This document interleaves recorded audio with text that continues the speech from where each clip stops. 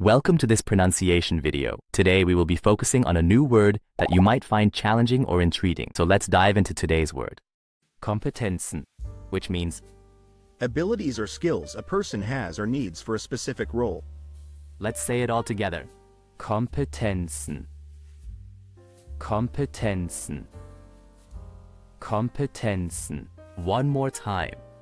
Kompetenzen. Kompetenzen.